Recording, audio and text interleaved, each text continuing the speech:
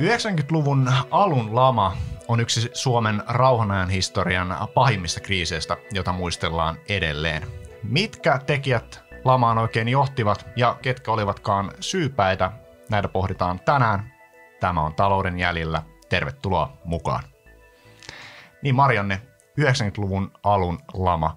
Edelleen tästä aikakaudesta Suomen taloudessa yhteiskunnasta keskusteltaessa puhutaan.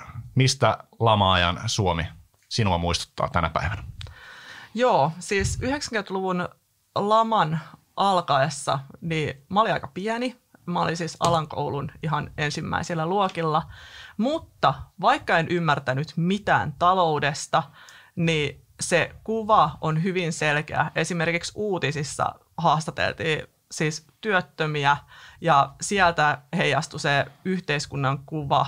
Eli ihmiset olivat pettyneitä ja surullisia, niin se jää jotenkin tosi selkeästi mieleen. Ja lisäksi kyllä lama ihan meidän perhettäkin kosketti, että mun äiti jäi työttömäksi tuolloin tuona aikana ja hän sitten myöhemmin kouluttautui uudelleen ja hankki uuden työpaikan, mutta kyllä meillä kotona säästettiin ja laskettiin tarkkaan, että mihin rahoja laitetaan. Se niin, on muistikuva.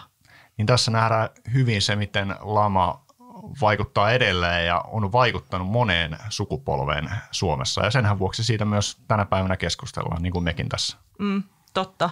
Että kyllä niin kuin jos tällaisia laman oppeja miettii, niin mulla on ainakin jäänyt siitä semmoinen säästämisen ajatus tosi selkeästi tuonne takaraivoon, että, että kannattaa miettiä, että mihin rahansa laittaa ja näin poispäin. Mutta se ei suinkaan ole mitenkään, mä en pidä sitä mitenkään huonoana asiana, että nyt täytyy muutenkin miettiä, että kuinka kuluttaa ja näin poispäin. Mutta sulle ei taida hirveästi olla ihan henkilökohtaisia muistikuvia vielä tästä ajasta. Ei oikein. Itse olen syntynyt vuonna 1993 ja niihin aikoihin Suomen talous, taloudessa kuitenkin nähtiin käännettä parempaa ja 94 oli ensimmäinen vuosi, kun bruttokansantuotekin kasvoi uudemman kerran. Eli sitä kautta ei voi sanoa, että lamasta olisi muistoja, mutta varmastihan se on koskettanut myös siinä tilanteessa. Lama-ajan lapsi ehkä siltä kannalta myös voidaan todeta. Niinpä. Joo. No jos me lähdetään nyt ka- käymään läpi näitä laman syitä ihan yksi kerrallaan, niin kyllähän siellä yhtenä merkittävänä syynä on se rahoitusmarkkinoiden vapauttaminen – Kyllä. Rahoitusmarkkinat vapautettiin Suomessa, mutta vapautettiin myös kansainvälisesti 80-luvun aikana. Mitä se sitten tarkoitti konkreettisesti, niin se tarkoitti sitä, että rahaa sai pankista käytännössä kuka tahansa.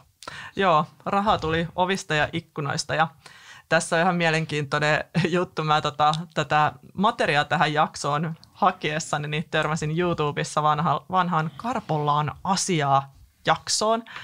Ja siinä tota, oli tämmöinen herra, joka oli hakenut pankista lainaa sitten siinä, se taisi olla vuonna 1990 ja hän pankkikorttorin kävellessään oli uusi asiakas. Hän oli tukevasti humalassa ja työtön. Ja tota, tästä huolimatta hän sai pankista lainaa. Hänellä oli tekaistu työtodistus, jota ei kyllä en ainakaan itse pankkivirkailijana ehkä ihan, ihan tota, uskoisi sen olevankaan totta, koska siinä työtodistuksessa oli Karpon mukaan 33 sanaa ja 38 kirjoitusvirhettä. Eli ei mikään ihan, ihan pätevin mahdollinen työtodistus. Mutta siis hän sai pankista lainaa näillä taustoilla. Hän meni hakemaan sitä kymppitonnin – hän, sai, hän tuli 50 000 markan kanssa, eli hän saman tien viisinkertaistui se, viisinkertaisti laiva, lainamäärän 15 prosentin korolla, ja sitten taisi olla, että hän humalaspäissä vielä hukkas ne rahat. tota, Mutta siis kertoo paljon siitä, että miten niitä lainanottajan tausteja ei nyt niin hirveästi lähdetty selvittelemään. Niin tuolta ajalta on muuttunut paljon muutakin kuin vain se korkotaso lainassa. Joo, että kyllähän, tää, kyllähän me nykyään riskitestejä tehdään, kun me lainaneuvotteluihin lähdetään ja muutenkin vähän pankit tsekkaa niitä tulotasoja ja muita.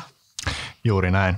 Itselläni muistiinpanoissa lukee luottobuumi, kasvusysäys, pankkikriisi. Pankkieihinhan tämä lama hyvin paljon konkretisoituu ja heidän ahdinkoon, kun pankkijärjestelmä lyötiin käytännössä aivan täysin maihin, kun 80-luvun aikana pankit olivat niitä yhteiskunnan herroja ja rouvia.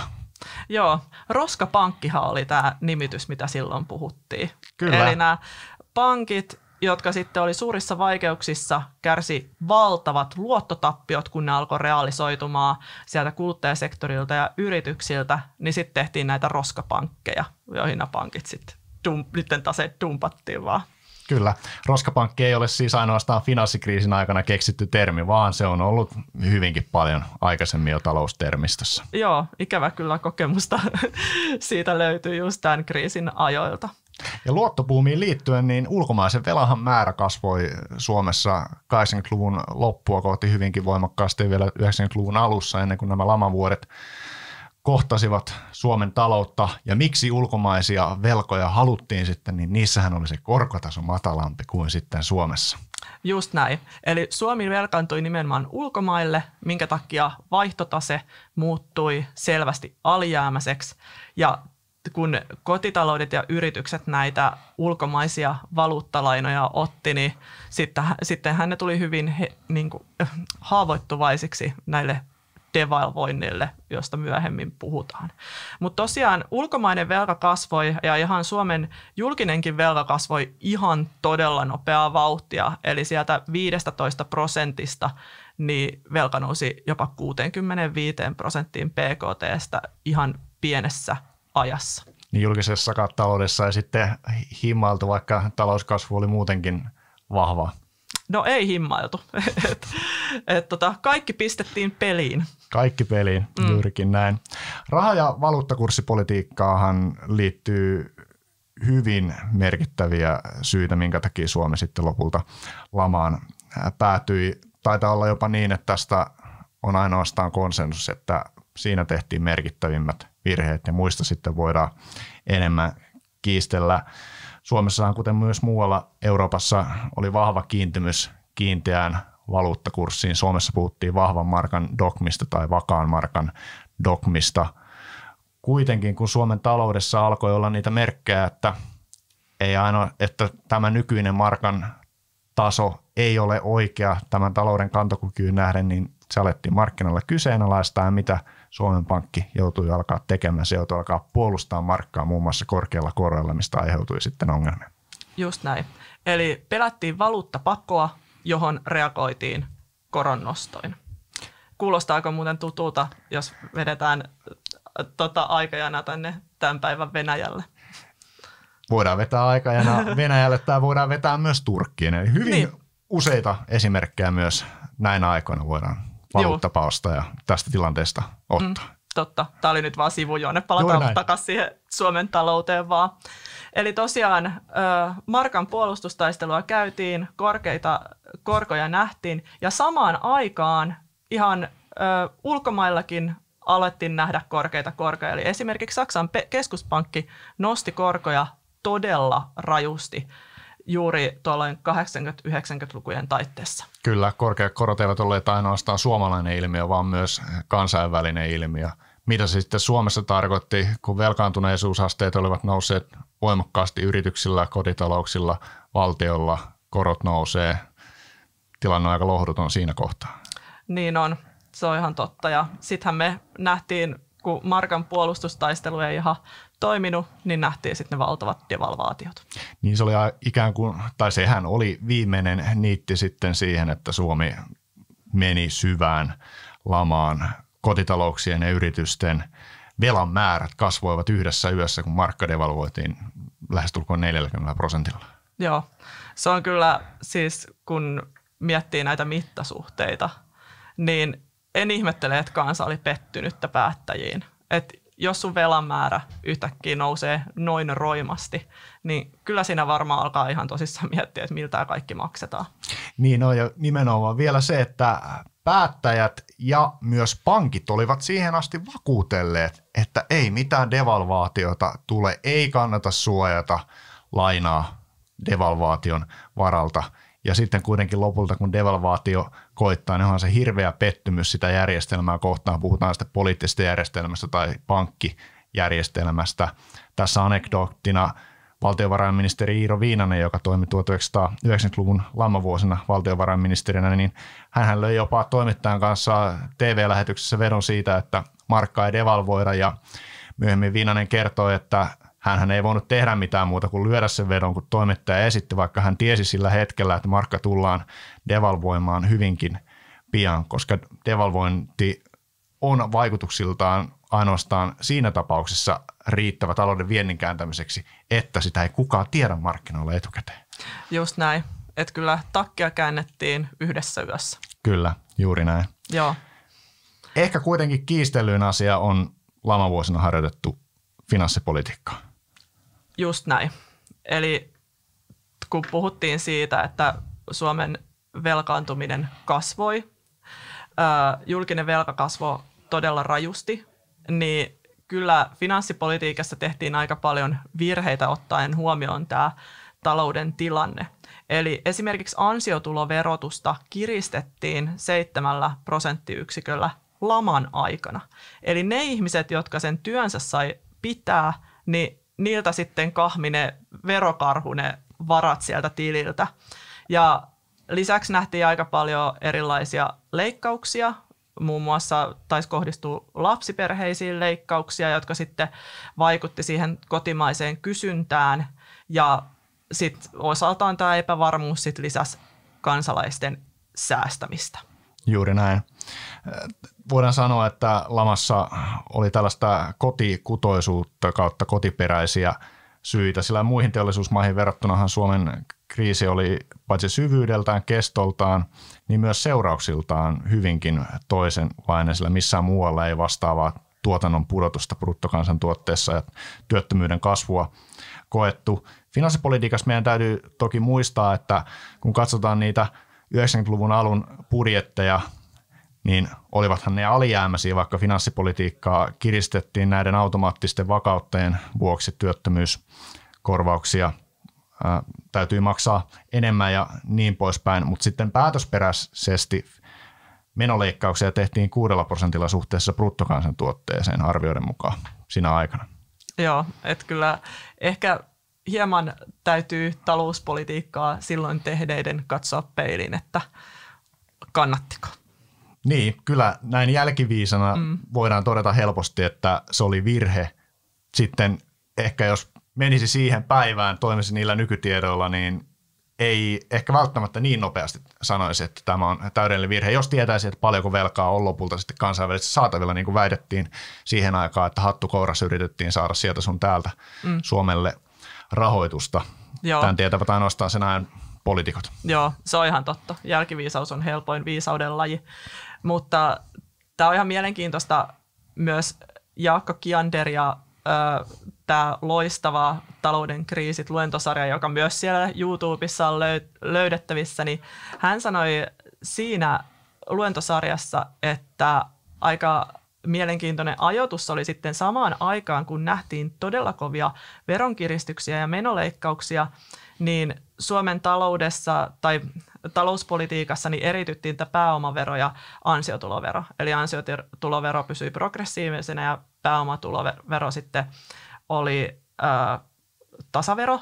Ja lisäksi Suomeen ö, tehtiin päätös Hornet-hankinnoista tuolloin. Luonnollisesti siis tämä konsepti, konsept, niin kuin täytyy huomioida tämä laajempi kon, konteksti, mutta tämä ajoitus oli aika mielenkiintoinen, että tavallaan rikkaat nyt sitten voittivat tässä, jos haluaa hyvin kärjistäen sanota, sanoa. Ja paljonhan myös taloudellinen epätasa-arvo lisääntyi laman seurauksena. Ja sitten tehtiin tosiaan nämä suuret, suuret puolustushankinnat samaan aikaan, kun tosiaan näitä menoleikkauksia jouduttiin tekemään.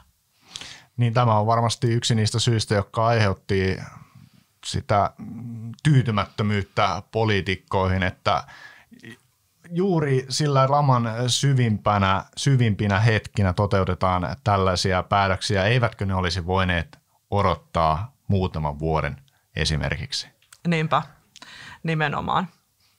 Tässä vielä täytyy sanoa tästä finanssipolitiikan päätösperäisestä kiristämisestä Kianderin viitatakseni tässä, koska hän, hän on Suomen lamaajan ehkäpä keskeisimpiä tutkijoita. Kianderhan on todennut näin, että ei tarvitse olla kovin fanaattinen keinsiläinen tullakseen siihen tulokseen, että näin mittavilla veronkiristyksillä ja menoleikkauksilla saattoi olla kontratiivisia vaikutuksia talouteen, varsinkin tilanteessa, jossa myös yksityinen kysyntä oli kirjan rahapolitiikan vuoksi varsin lamaantunut.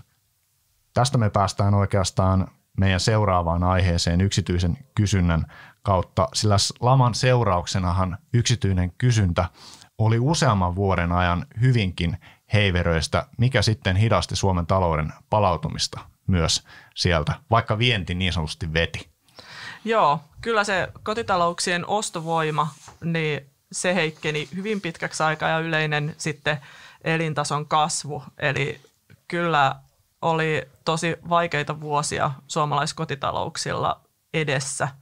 Ja se sitten tosiaan osaltaan hidasti tätä talouskasvun palaamista entiselle uralleen.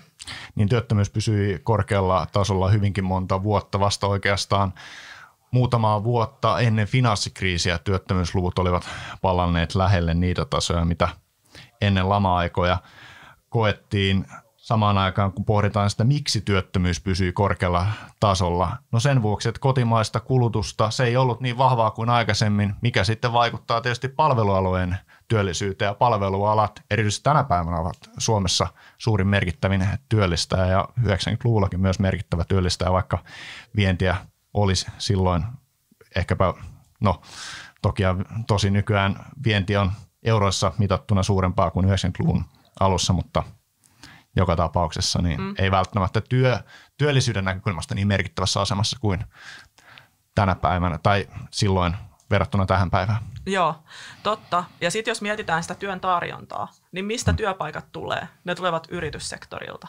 Ja kun me nähtiin valtava konkurssiaalto lamassa, niin se varmaan toimi myös yrittäjien tai yrittäjyydestä haaveileville sellaisen tietyn epävarmuuden, ettei välttämättä uskallettu, haluttu lähteä yrittämään. Ja tämä sitten osaltaan viivästytti sitä työpaikkojen luomista.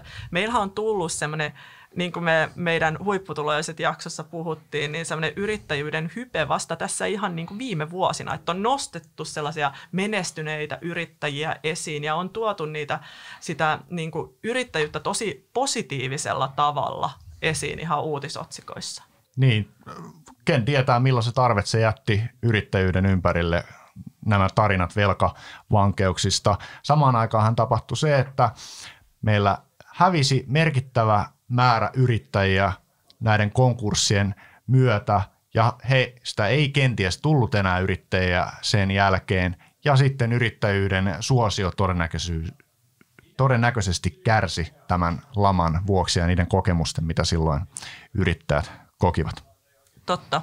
Ja sitten jos puhutaan vielä laajemmassa äh, mittakaavassa näistä seurauksista, puhutaan just tästä vakavasta työttömyysongelmasta, mikä me nähtiin ja miten kauan, se, miten kauan sen kanssa elettiin, niin sitten siellä tulee vielä tämä syrjäytyminen ja köyhyys, jotka olivat valtavia ongelmia silloin ja hyvin pitkäkestoisia ongelmia myös, koska tämä yhteiskunta toipui niin hitaasti. Sanotaan, että ennen lama, 1990-luvun alun lamaa Suomessa ei ollut leipäjona ja tänä päivänä niitä on. Että tässä nähdään se inhimillinen puoli myös, miten kauaskestoisia seurauksia lama voi tuottaa. Just näin. Tota, me käytiin tuossa jonkin verran, jos me vielä otetaan yksi syy tälle lamalle, niin näitä ulkoisia tekijöitä. Neuvostoliitto, yksi sana. Kyllä, tänäkin päivänä valitettavasti ajankohtainen Venäjän kautta ja heidän toimiensa. Neuvostoliiton kauppa romahti koska valtio romahti 90-luvun alussa. Just näin. Ja tämä on tosi mielenkiintoinen tämä vienti Neuvostoliittoon, koska ennen kuin me alettiin tätä jaksoa valmistella, niin mulla oli semmoinen kuva, että kyllä neuvostovienti, niin silloin oli, se oli yksi todella merkittävä tekijä 90-luvun laman taustalla. Mutta siis Suomen vienti korkeimmillaan Neuvostoliittoon oli 15 prosenttia koko viennistä. Ja et ei se loppuviimeksi niin suuri sit ollutkaan se osuus. Että totta kai se on yksi tekijä ja idänkaupan, idänkaupan romahdus on yksi tekijä, mutta se ei suinkaan ole ainoa tekijä tämän, tämän tota, ä, laman taustalla. Ja kyllä sitten meillä oli muutenkin siis kansainvälinen taloussuhdanne kääntyi noususta laskuun.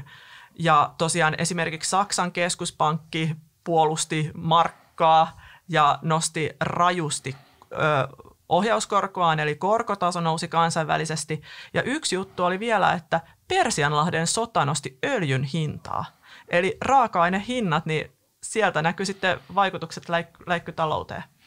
Niin minkä takia lama oli niin syvä, niin meillä oli sekä ulkoinen shokki että sisäinen shokki, kun vastaavasti finanssikriisin hetkellä meillä oli ennen kaikkea ulkoinen shokki. Toki samaan aikaan meillä oli hitaasti etenevä hi, ää, sisäinen shokki Nokian ongelmien vuoksi ja metsäteollisuuden ongelmien vuoksi. Joo, että kyllä tämä, niinku, tämä, nimenomaan tämä ulkoisten ja sisäisten tekijöiden merkitys ja miten ne kaikki iski samaan aikaan Suomen talouteen tuolloin, niin se on just se, mikä teki tästä lamasta niin vaikeasti ylipäästävän ja mikä myös erottaa sen laman näistä myöhemmistä kriiseistä, mitä me ollaan taloudessa nähty. Niin myöhemmät kriisit, niiden vaikutukset ovat olleet huomattavasti pienemmät verrattuna 90-luvun alkuun. Esimerkiksi finanssikriisissä bruttokansantuote putosi kylläkin merkittävästi, mutta samanlaista työttömyysvaikutusta, työ, vaikutusta työllisyysmarkkinoihin, työmarkkinoihin me ei nähty. Joo, että meillähän oli silloin kuitenkin vahva kotimainen kysyntä, joka sitten piti talouden tai nosti sen takaisin pinnalle. Niin, se on, tässä ikään kuin vaihtuivat osat siihen 90-luvun alkuun nähden. Silloin Suomen veti lamasta tietenkin Nokia, mutta koko vientiteollisuus sitten vastaavasti finanssikriisistä meillä oli todella hitaan kasvun vuosia, koska meillä ei toiminut vienti ja kasvua ainoastaan ylläpiti kotimainen kysyntä. Mm, ihan totta. Ja sitten taas, jos ajatellaan eurokriisiä, niin se taas tuli ihan täysin ulkomailta ja nimenomaan sen rahoitusmarkkinan kautta. Ja kyllä sieltäkin sitten, no totta kai me nähtiin hidasta, hyvin hidasta talouskasvua ja matalia korkoja ja alhaista inflaatiota, mutta se on niin kuin pitkän aikaa senkin jälkeen, mutta kuitenkin kyllä sieltäkin se isku siihen kotimaisen kysyntään ei ollut niin näkyvä. Kyllä, ei merkittävää työttömyyden kasvua toisin sanoen lyhyesti ole aiheuttaneet myöhemmät Joo. kriisit. Esimerkiksi tämä koronakriisi, joka nyt, en tiedä, kai me voidaan edelleen sanoa, että koronakriisi on päällä, eikä sitä pidä vähitellä tässäkään tilanteessa vielä. Just näin. Finanssipolitiikan liikkumavarassahan Suomella tuntuu olleen täysin erilainen asento tai liikkumavara ylipäätänsä, kun 90-luvulla todettiin, että liikkumavaraa ei ole – finanssikriisissä, eurokriisissä, koronakriisissä on elvytetty, etenkin viimeisimmässä, niin paljon kuin ikinä lähtee. Joo, kyllä sitä liikkumavaraa on löydetty. sitä on. on haettu kaikkien kivien alta. ja kyllä nyt tämä, yleisesti tämä talouspoliittinen keskusteluhan on mennyt siihen, että kyllä sitä liikkumavaraa haetaan, jos niikseen tulee, jos kriisi talouteen iskee. Eli kun me puhutaan näistä tällä hetkellä EU-ssa näistä velkakriteereiden uudistamisesta ja tästä yleisesti finanssipolitiikan liikkumavarasta, niin kyllähän tämä koko keskustelu on mennyt sinne suuntaan, että sitä liikkumavaraa täytyy aina löytyä ja niitä velkakriteereitä täytyy höllentää. Ja niin kuin me ekassa talouden jäljellä jaksossa todettiin, niin velka on uusi musta, mitä se ei ollut 90-luvulla. Niin, siltä se ainakin toistaiseksi näyttää. Se jää toki nähtäväksi. Koetaanko me tulevaisuudessa vielä se hetki, että velka ei olekaan se uusi musta, kun niin sanotut margin callit soittelevat? Niinpä, se tarkoittaisi varmaan jonkinlaista muutosta tästä korkoympäristössä muun muassa. Juurikin näin, sitä jäädään odottamaan. Joo. Viimeiseksi voidaan lähteä tai pohtia sitä, mistä aloitettiinkin. Laman syntipukit ja jälkiviisauden oikeutus, niin näetkö Marianne, että lamaan olisi selkeät syntipukit tai yksi syyllinen? No mä en kyllä lähtisi ihan vaan yhtä tekijää tässä sormella osoittamaan. Edes mä en lähtisi osoittamaan pelkästään sinne Arkadianmäelle, koska se tilanne oli varmasti todella vaikea ja vaikeita poliittisia päätöksiä tehtiin joka tapauksessa. Kyllä. Se on hyvä pidättäytyä aina jälkiviisaudesta. Se on viisas toiminta. Just näin. Todetaan vielä loppuun Jaakko Kianderin viisaus näistä syntipukeista. Kiander on kirjoittanut näin. Suomen Pankin ei tarvitse tyytyä pelkkään syntipukin osaan, vaan se puolestaan voi syyttää hallituksia, eduskunta ja työmarkkinoita hintavakauden ja järkevän taloudenpidon unohtamisesta. Lisäksi kaikki päättäjät voivat syyttää pankkeja, yrityksiä ja kansalaisia lyhytnäköisyydestä, ja kansalaiset voivat vuorostaan syyttää 1980-luvun pörssihuumaan osallistuneita kasinopelureita. Tähän on hyvä lopettaa. Kiitoksia katsomisesta. Tämä oli Talouden jäljillä.